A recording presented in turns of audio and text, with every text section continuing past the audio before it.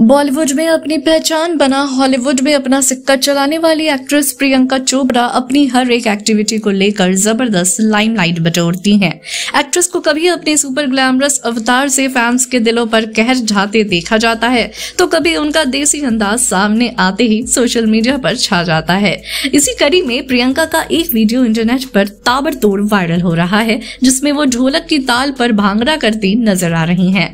दरअसल प्रियंका ने सोमवार को लॉस एंजलिस में अपने घर में मैनेजर अंजुला आचार्य के लिए बेहतरीन बर्थडे पार्टी थ्रो की। इस पार्टी में उन्होंने ढोल कलाकारों को भी जोड़ा। इस दौरान एक्ट्रेस के पति निक जोनस भी सेलिब्रेशन का हिस्सा बन खूब मस्ती करते देखे गए।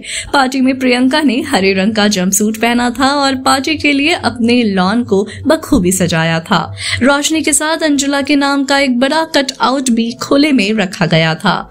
प्रियंका ने अपने इंस्टाग्राम स्टोरीज पर एक वीडियो शेयर किया है जिसमें वो टू टीयर केक लिए कमरे से बाहर आती नज़र आ रही हैं। जैसे ही वो केक को टेबल पर रखती हैं, वो अपने मैनेजर के साथ भांगड़ा करने लग जाती हैं और ढोल कलाकार उनके लिए लाइव म्यूज़िक देते हैं। पीसी को निक के साथ भी महफिल जमाते पाया गया है। एक अन्य वीडियो में प्रियंका और निक को खाने के टेबल पर दिखाया गया है जिसमें उनके साथ अंजुला और टीम के अन्य सदस्य भी शामिल हुए थे। एंटरटेनमेंट दुनिया की हर खबर को पाने के लिए चैनल को सब्सक्राइब कर लें।